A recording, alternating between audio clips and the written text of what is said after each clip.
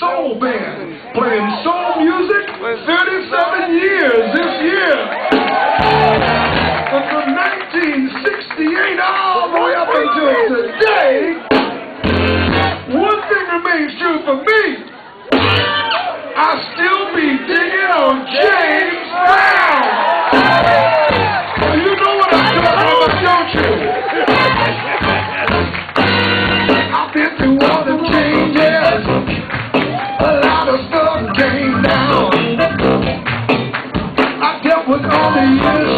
You might say I've been around, but back when I got started, there was a righteous sound.